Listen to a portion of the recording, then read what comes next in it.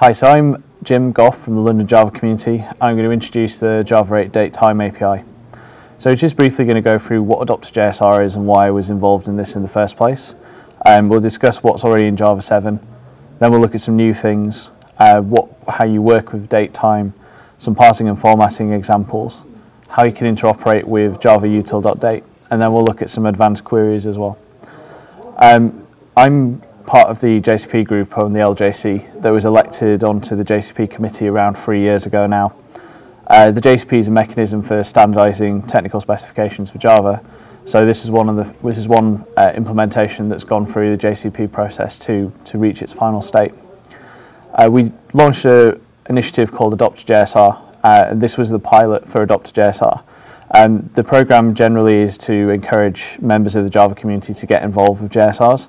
Uh, it's also to evangelize JSRs to the wider community in order to uh, increase participation. And you can find the project on java.net. So Java Date is in the language right since the beginning of, of launch of Java. And you know what, there's many good discussions about what was wrong with the current implementation that you can go away and take a look at. Um, some of those is, you know, the things, things are mutable. Uh, date is actually really a date time and there are also other classes for SQL. So there's a mixture of date times, dates for SQL, times for SQL. Uh, there's no time zone support and it's, it's not e easy to use. Things got a little bit better when we moved to calendar, uh, but you still had, it was still mutable. Uh, you couldn't format date directly and you know performing arithmetic operations in terms of how humans would specify things, uh, in terms of something is two months away from now, wasn't uh, wasn't clear or it's, it's, it's, quite tricky to get that correct. So Stephen, I've got a bit of a question for you here, which is an example from uh, JavaOne in 2008. How many bugs can you find in this date time code? How many bugs? I'm bearing in mind it's only a few lines.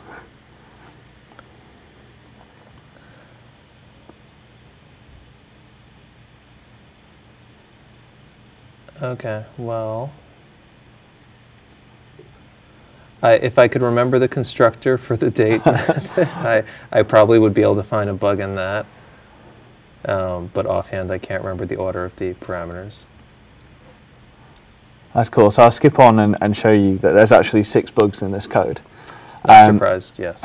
it looks it looks like on the face of it, it's quite a um, quite a logical thing to do, but you know, in this in this date constructor here, you've got 2007.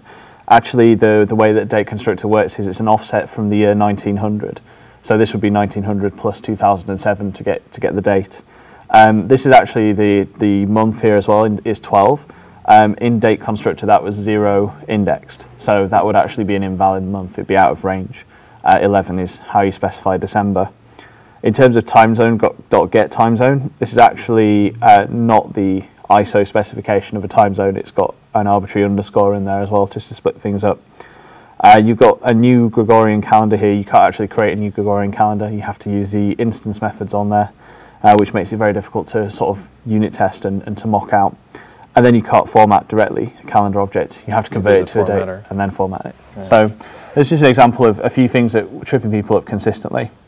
So we're going to go through the basics. Uh, there's a new package in Java 8 called java.time and we now have proper objects for representing date and time separately and together. Um, so a local date is just a date that doesn't have any time attached to it, simply a 29th of the 9th, 1984, which is my birthday. Um, a local time is just a time 1332. Uh, it doesn't doesn't have a time zone attached to it, and it's just just a time. A local date time is actually a combination of local date and local time, uh, and a zone date time actually starts to bring time zones into into the mix as well. So let's skip to the IDE. I've got a few examples here that we'll, we'll go through. I've got some unit tests here to sanity check that what I show you is, is, is the truth. Um, so how do you create a new local date? the first thing I did when I picked up this was go new local date. Um, actually, that's, that's not allowed. Um, everything that we use in, in Java date time is, is based on factory methods. So if we, we'd actually do this, um, local date of, it's, um, very convenient. It's got like what you'd expect. You've got year, month, and a day of month that you'd specify. Uh, and you'll notice that you can actually spec specify the month as an integer or as a, uh, an enum month. So in this example, we're going to do Henry VIII's birthday. So that was uh, the year 1491. Uh, the month was June, and the day was the 28th. So that gives me a very easy local date, um, not specifying anything else that can now be used in code and, and understood quite quite simply. So what about uh, local time? Well, again, you'll see that a lot of the constructors for making these things are consistent. So we're using of again, and this time I'm just going to use 1351, um, which is again, you've got hour minute, hour minute second, or hour minute second and nanosecond. So this is an additional level of accuracy that's been introduced into the uh, 310 APIs, uh, nanos. So we're just going to specify 1351. We don't need to go down to accuracy. Uh, so now what about uh, date time?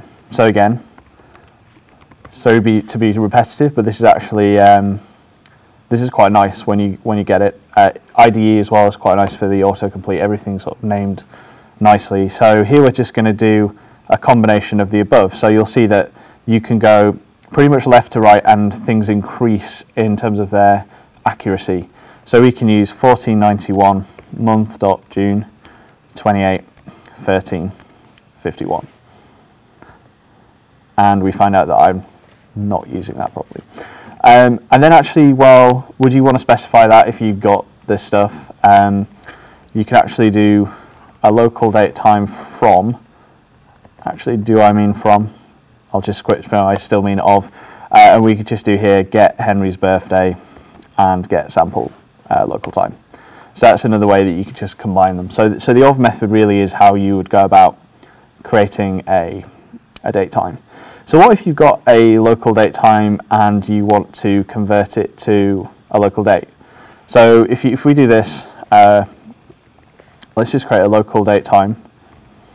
And then we could do this now. So this is really simply how you just get well, what is right now. Um, and then we could just do here to local date. So you've got the conversions here so you can convert things through to uh, easily convert between the two different types. And we'll go into some more of these in a bit, but to local date will work for now. So here I want to get the difference between um, a zoned time in Paris and London. So we could do a zoned date, kind of I can get, so zoned date time. And again, we can use of. Um, actually, let's use now and then do with and this is where I'm rusty. So I'm going to use my autocomplete to take a look through. Uh, what have we got on here? So this will be a nice time to actually go through what we have. So with is a temporal adjuster, and we'll go through that in a short while because it's a bit of an advanced concept. Uh, we've got until, so you can measure time periods as well. Um, and what I actually want to do with this is find a way to use my zone. Uh, how is it actually in this now method? Hold on. Okay, this is where I skipped to my notes because I forgot. Ah, yeah, okay. So let's do Paris. This is what I was looking for. Uh, and here I could just specify my zone. So going back to what we had um, previously, you specify it in the ISO format. So we've got Europe slash Paris. Uh, and then we'll do the same for London.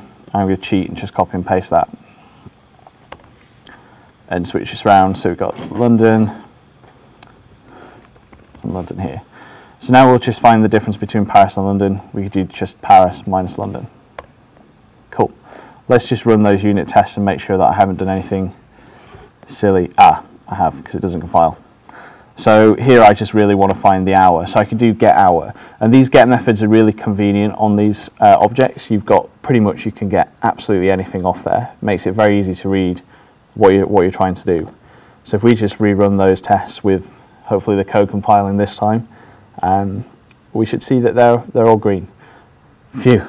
Okay, so let's just uh, switch back to the slides. Um, because now I want to talk about working with date and time. So I've just basically gone through some very simple uh, bits and pieces. You know, that's how you're going to create date times from from now on in the new in Java 8 if you choose to use them. Um, and in, so we've got to call, talk for about instant, duration, and period. So an instant is actually probably the closest thing to java.util.date. When you do a new date, you get effectively a millisecond value of where you are from 1970 from the epoch. An instant is exactly the same thing. It's just a point in time on the timeline. Um, a duration is a measure of time. So you could take one instant to another instant and say that's 34.5 seconds. Um, so that's just purely time based. Uh, and a period is different because it's a it's kind of it's based on like what we would perceive as humans. So we'd say we'd be unlikely to say um, five days time to someone. I'll meet you at the pub in five days time is probably a reasonable thing to say as opposed to X number of milliseconds from now. So this kind of period certificate allows us to interact uh, a bit easier with the API. It's also the difference is quite subtle, uh, but important when working with zone date time operations. So period will use um, details within the chronology that you're using, and for most people that'll be the ISO chronology, uh, which is the standard date, time uh, calendaring system. Um, so if you put a, the same amount of five days in, in seconds and it was going over a time zone, then you'd get, uh, sorry, going over a daylight saving, then you might lose an hour. Whereas if you put a period, that would resolve. Um, and java.util.Date I actually mentioned close to instant, and it, the, in Java 8, it's got a new method on it, which uh, allows us to be compatible, and it, you just use to instant on there uh, to convert that into an instant, and then from there you can start using the, the new APIs.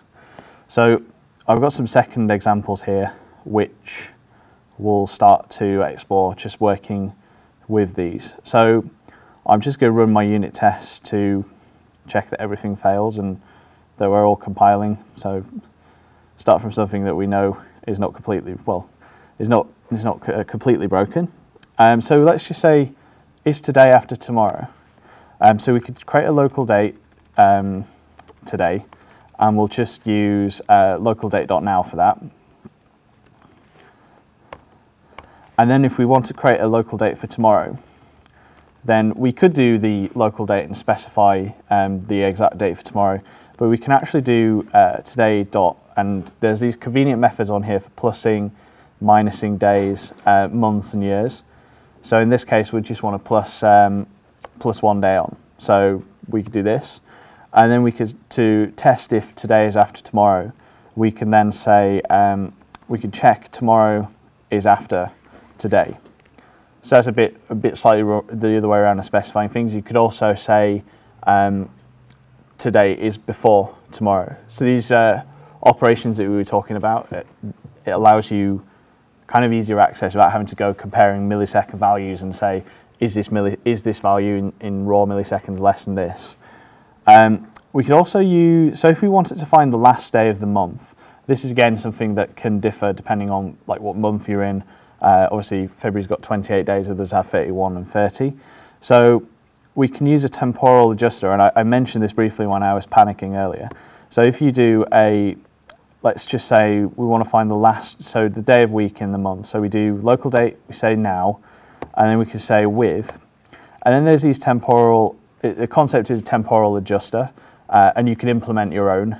But in this case, we've got a temporal adjusters, which actually gives us loads of handy things that you want to do with date time. Uh, so we just say last day of the month in there. Um, and now we've got our local date, we can actually just say um, get day of week. And that's just going to go to take, take the time now, and then the with will move that date on, and then the get of week will get that date out. So now we're going to talk about the period uh, class that I was mentioning earlier. So how many days is it until the longest day of the year? So if we do our local date um, today, and that's local date dot now. Um, and then if we do take our longest day, and then we could do this of.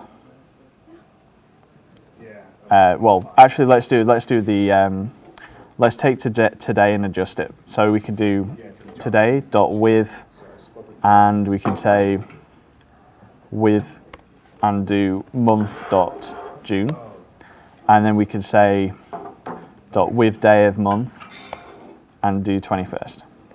Cool. So that's our longest day. And then what we could do here is we could do period dot between, and then we start date is today, and then we'll go for our longest day. So, and from period we want to do get days. So you've also got on this period method, you know, you can we could actually say that we want to get the number of months, the years. Again, it's quite nice to you can see this stuff very quickly when you kind of hit the dot. Oh yeah, these are all things that I could do with that. So in this case, we want days. Now here I've got two uh, date time zones. I've got one for Los Angeles time zone and one for Europe, London. And what I want to do is, is see duration uh, how long is it until the new year. So I could do duration again dot between and say here and GMT New Year.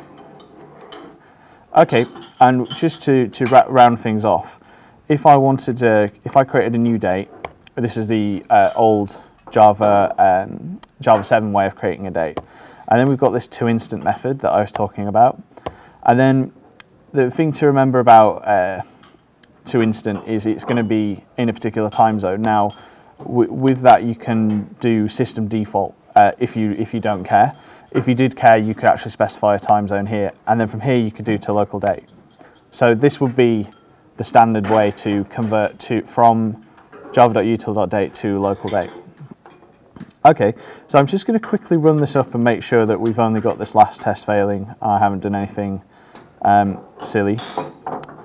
Uh, what have I done with the test duration? So, ah, uh, yes. So this is one of my intentional um, issues that I've left in.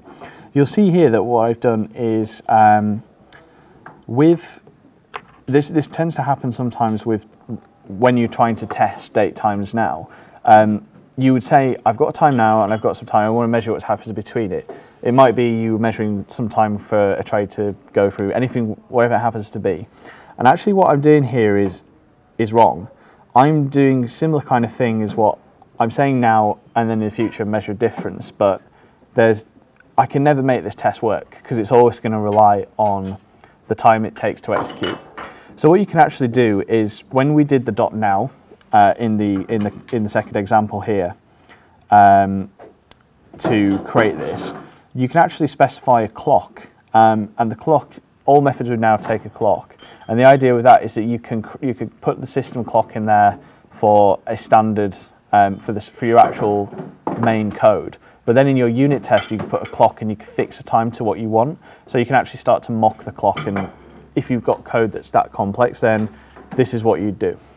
So for now, I'm not going to address that in this test. I'm just going to comment that out and cheat a little bit uh, and move on to an example that's in a little bit more depth. So what, what we're going to do now is we're going to try and find out, given uh, the months in the year, what are all the days, um, the last days of every month? So if I was if I was writing this in, in Java 7, the first thing I'd be doing is okay, I need to return a list. So I'm going to create my, my dummy list and I'm going to say that that's a new array list. I can use my diamond operator.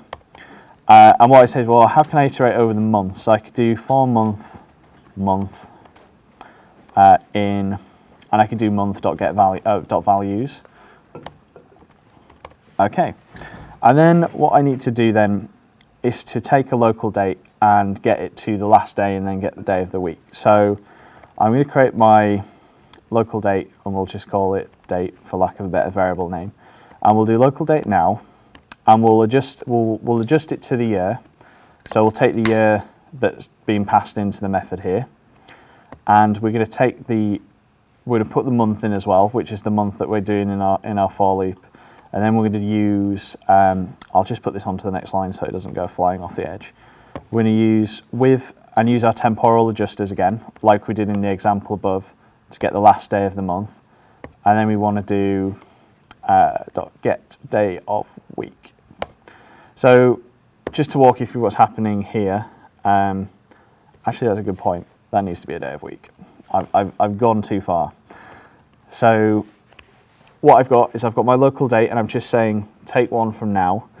um, adjust it to the year that we specified, give it the month, and then get the last day of the month and get the day of the week. So then standard here, we do list.add day. Everybody's happy, we return that list.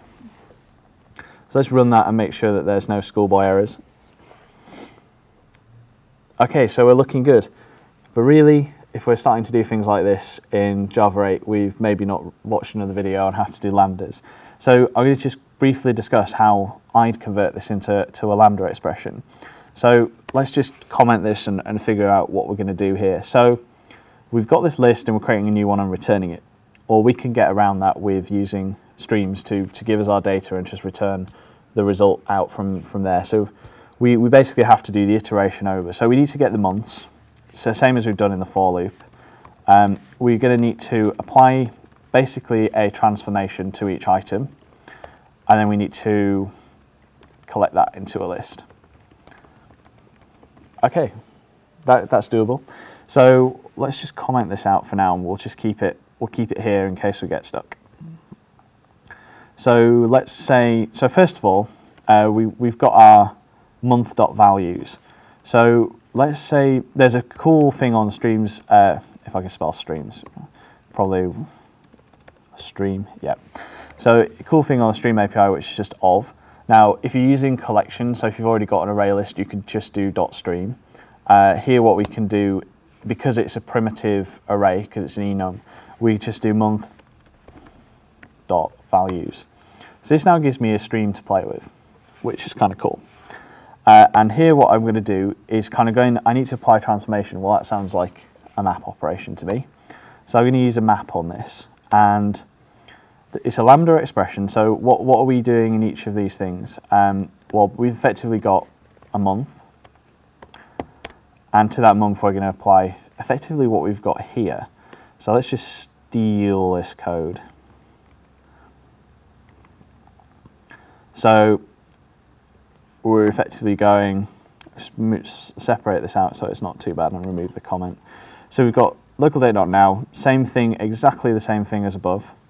Um, and then finally, what we want to do then is dot collect. Now, so we've taken a stream, we've got our data coming through, which is 12 months, We've applied a transformation, and then we want to collect it to, um, and there's this cool thing called collectors, and this has some really useful uh, things to collect things into. Uh, we could just do dot collect to list. Cool. And obviously we would just want to return that. So looking at the complexity, we've removed all this boilerplate. We've removed having to create an empty array list, having to have these for loops. We're really just thinking about the data here, which is exactly what Lambdas is in, intended uh, to do. So it's quite easy to just refactor that, and I think it's slightly more readable as well. And if we run this, hopefully we haven't made any errors. Yeah, I was a bit nervous when it went uh, orange there for a short time. But that's it, all tests passed.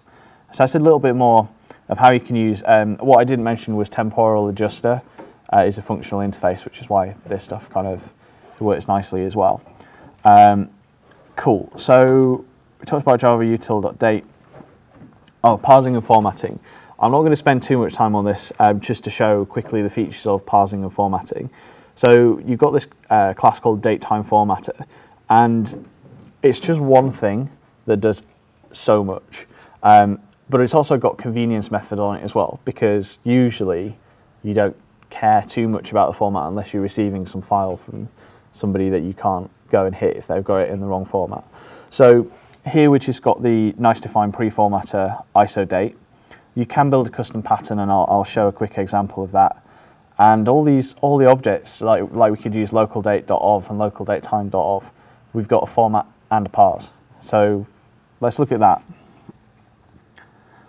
So we've got our formatting examples here. Uh, we'll just run quickly the supporting unit tests as well. And if they pass, we worry. They don't. Cool. So we just want to format a simple date and we'll use today. So let's do local date dot now and then format. And we'll use the ISO datetime formatter. So we just do datetime formatter dot ISO. And that's it. Really nice. Same thing with if we want to specify a format, we can do now dot format date time formatter, and you can use this of, um, oops, it's got, it's got a bit carried away, uh, of pattern. And here I'm just going to grab this pattern that I've got here. So the example that I'm passing in is month, day, year, specified. I think that's the American style. Um, one thing just to note here with the with the previous format, uh, date time formatters that we had, or the fo formats, uh, date format, is that some of these um, letters have been changed, and that's not to annoy people. It's to bring people in line. It's to bring the the API in line with the the standards that are out there for representing this. Um, so just be careful if you try to port code straight over from a previous uh, formatter. Uh, and then this one, we just got a local date again, and we can use a parse. And here, because I'm just using ISO again, I could just pass it a date string. And hopefully now, this just works.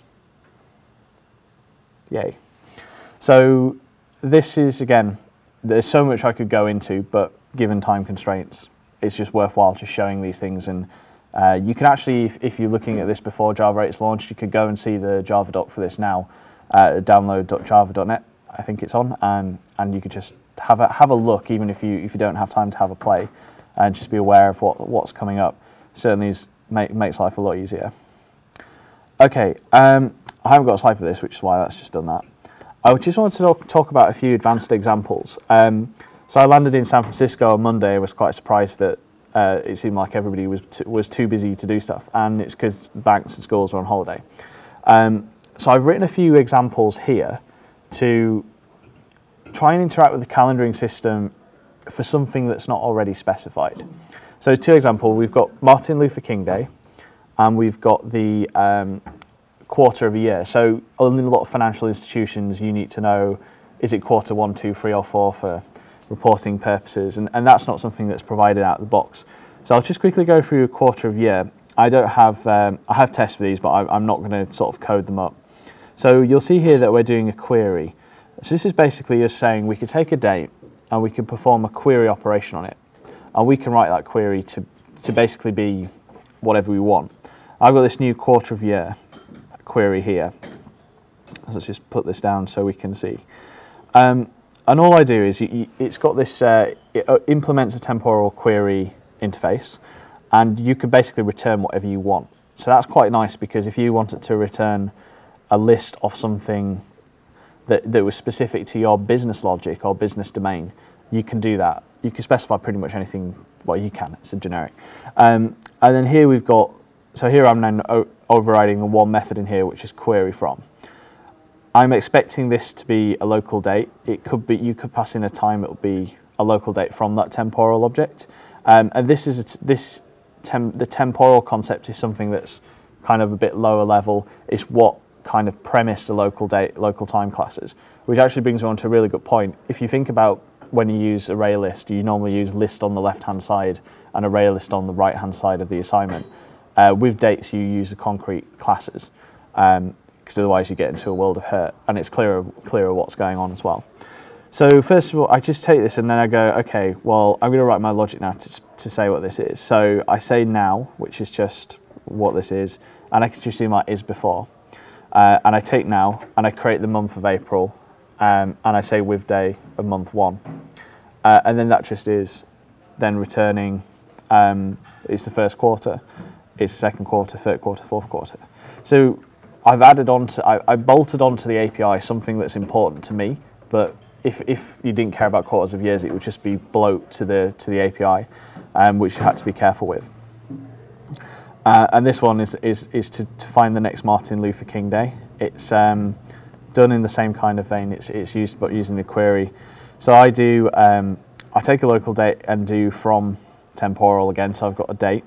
And then what I want to do is I take the current year Martin Luther King Day. So I get current year Martin Luther King Day. Uh, I pass a year, and then I say local date of that year, January the 1st.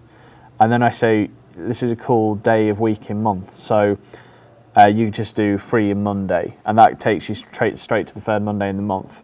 You could also, if you're a bit, if you didn't know what you were doing when you were writing this last week, uh, you can use something called next or same, uh, next or same day, and that means you can actually not know where you're landing in a calendar and say, if I'm on a Monday, don't go one further on, um, and if I'm on a, if I'm on any other day, then progress. So you can actually use that to logically iterate over days that are in a calendar, which you might want to do if you were going to go over something here and collate some data and pass it back. Um, and then what I do is I say I use the period class again. So I say period dot between. I've got my date now, and when's the current Martin Luther King Day. Now a period can be negative or it can be zero if, if you're on the day.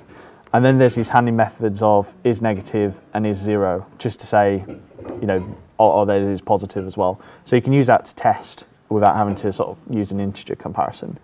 Um, and here what I do is I say, okay, if, if, if it's negative or it's zero, so I'm on the day or before the day has passed, then I want to find Martin Luther King Day in the next year.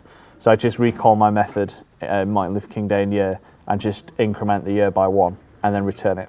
Or otherwise it, it's we're, we're between the third Monday and the beginning of the year. So I just, I do that. Um, so that's all the code examples I've got.